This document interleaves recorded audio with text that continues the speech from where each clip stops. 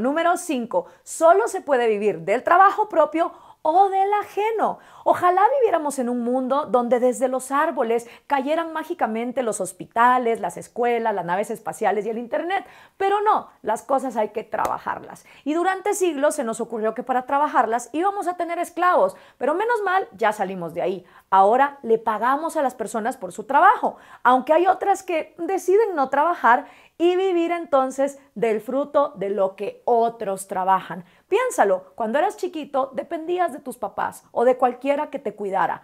Te vas volviendo más grande, tal vez entras a la universidad, empiezas a tener tu propio trabajo y empiezas tú a costear tus propios gustos y necesidades.